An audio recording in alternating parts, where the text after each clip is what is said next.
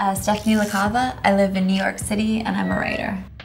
I feel lucky to be in this position where I can have like a particular niche of something I'm interested in or and I understand people will come to me or I will come to them to write about those ideas and they'll know that I am my own weird kind of authority on things that are kind of quirky or weird. I think people are often disarmed um, by me a little bit because I am a bit quirky myself and so it helps in interviews. You learn to make advantage of the things that could be a disadvantage for you. So in, in a good way to learn about people and get things out of them that they might have not given before. And that's also what I've learned about being a journalist. It's not necessarily just the words, but what you can do with the people with the human capital that's like presented to you. And that's a huge skill that I also had to learn because I was also very awkward and I still am, but it can be helpful if you use it in the right way.